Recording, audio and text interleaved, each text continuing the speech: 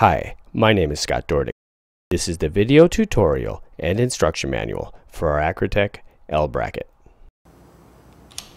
An L bracket allows you to change from a horizontal shot to a vertical shot without having to recompose your image. It is almost as if you were rotating around the center of your lens. L brackets are helpful for stitch panoramic photography. When you are doing horizontal panoramics, you can put your camera into the vertical position to fit more of the scene into your image. And when you are doing vertical panoramics, you can put your camera into the horizontal position to also fit more of the scene into your image. To learn more about stitch panoramic photography, you can see our panoramic video at acratech.net. Some of you might ask, there are other good L brackets available. What makes the Acratech L bracket better? A big advantage of the Acratech L bracket is that it is quick and easy to remove your camera from the L bracket, which allows you to use the same L bracket with different camera bodies, or to just remove the L bracket when you are going to be hand holding your camera. And our L bracket can even be used with a video camera on our GV2 and GP ball heads.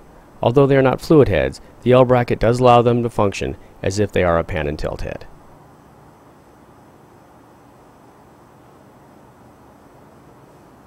The Acratech L bracket is very strong and lightweight, and the L is made from one solid piece of aluminum. It is much stronger and more rigid than other L brackets that are just bolted together.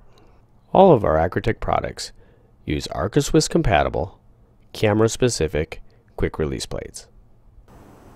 The quick release clamp on our Acratech L bracket can be adjusted up and down as well as rotated 90 degrees on its pins so it can accommodate a wide variety of cameras.